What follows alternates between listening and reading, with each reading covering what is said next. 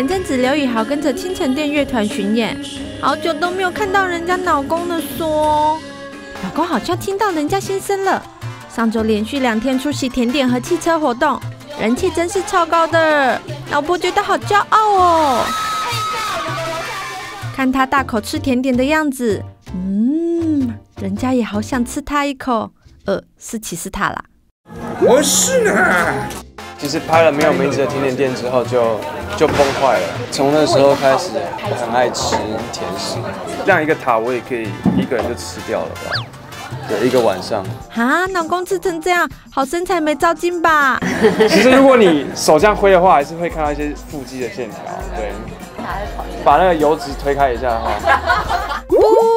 哦，人家不依，人家不依，换我六块肌啦。那个肚皮已经松掉这件事情，要赶快把它找回来。因为我觉得演戏，you never know 什么时候会用到。老公要加油哦！虽然对自己身材要求严格，但刘宇豪心中的理想情人却是自己喜欢就是像差不多有没有有点蓬蓬的这样子，喜欢哦，有点脸圆圆的，谁脸圆圆的举手我看一下好不好？就是真心的嘛。